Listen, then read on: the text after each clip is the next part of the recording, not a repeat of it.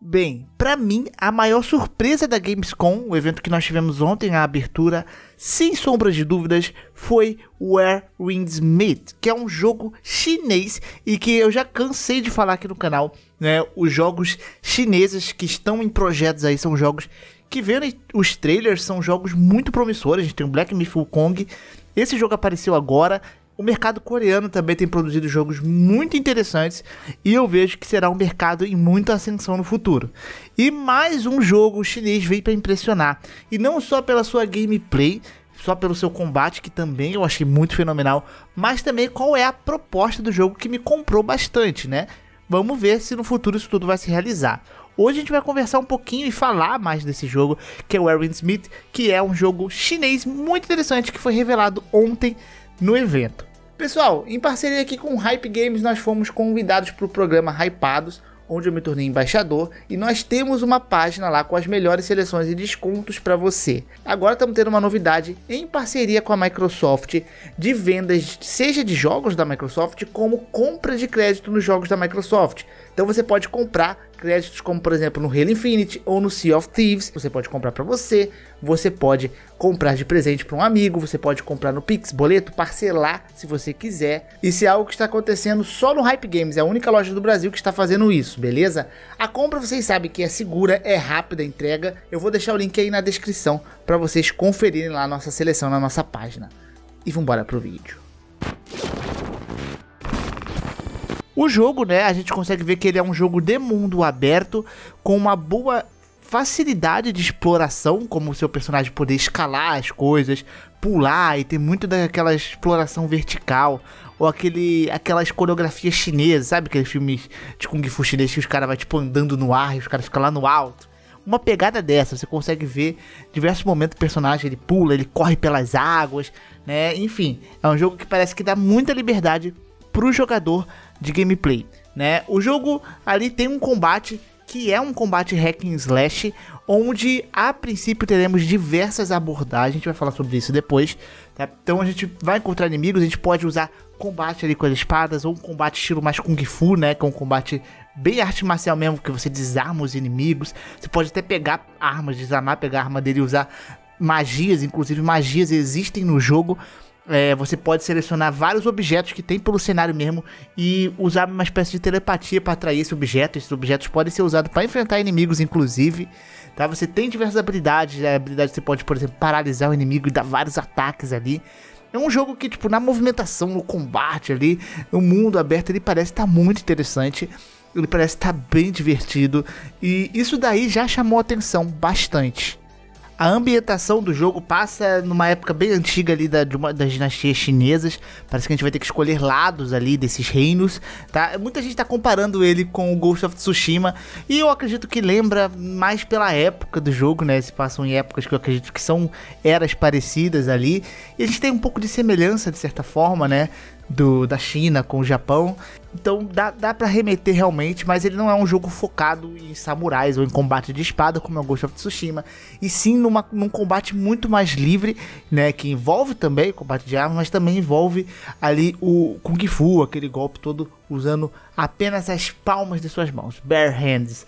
Né? Então ele tem toda esta pegada aí, né? Uma coisa que a gente observa também são diversos cenários diferentes, bonitos, né? Bem feitos esses cenários, desde cidade que a gente pode andar e coletar informações ali, ajudando pessoas na cidade em troca de informações. Tem um momento que ele chega ali perto de uma casa, ele bate na janela ali, tipo, na maciota, pega uma informaçãozinha ali com uma senhorinha que tá ali né? Ela coloca essa informação nas mãos dele, ele completa mais ou menos duas coisas de informação que ele chega a coletar, para às vezes para alguma quest ou para algo do tipo.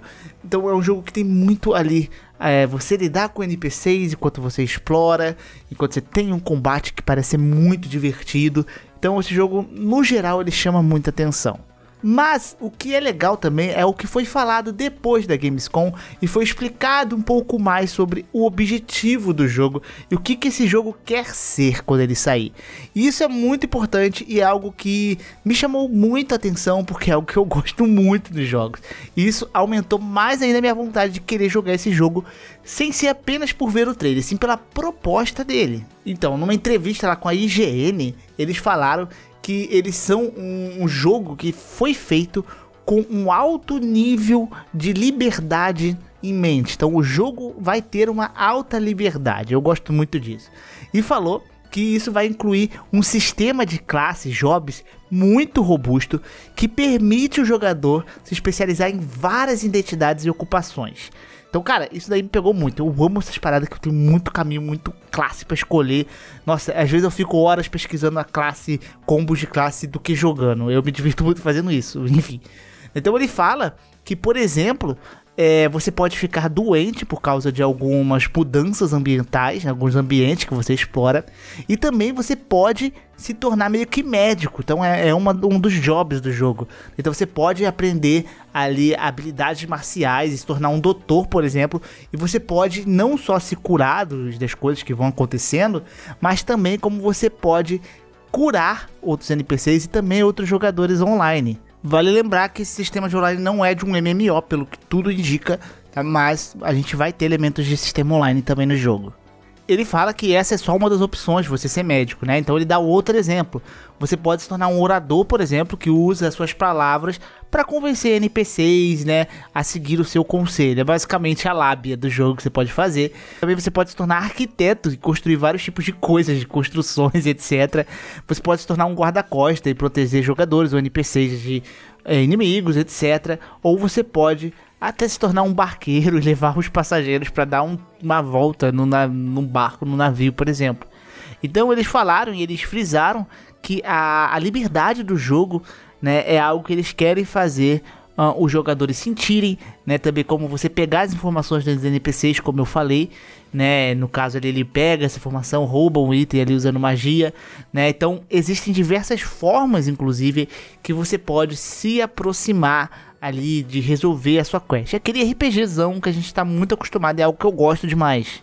Por exemplo, né, eu tenho um exemplo ali que eles usaram do trailer em que o jogador usa magia e pega aquela adaga e aí ele corre porque ele roubou aquela adaga, mas você pode ir ali até aquele NPC e comprar aquela adaga sem você precisar ser perseguido pelos, pelo, pelos inimigos, né? Então, cara, isso me comprou muito, tá? Essa, essa ideia de liberdade é algo que eu amo nos RPGs. Então a gente só precisa esperar que isso tudo seja bem executado, né? Porque em alguns momentos do trailer eu vi é, alguns lagzinhos, você sente que deu umas quedas de FPS. Né? Então a gente precisa ver se eles vão resolver e se eles vão conseguir manter muito bem esse sistema que eles estão propondo a manter. Mas, né, é um projeto muito ambicioso, muito interessante do meu ponto de vista e que já tá na minha listinha de um dos jogos que eu mais quero jogar assim que lançar, tipo, no lançamento. Eu quero jogar essa bagaça, sabe? Então esse jogo chamou muita atenção, né? Você consegue ver que tem muito mais coisas por trás apenas desse trailer interessante, de um combate bonito que ele tem.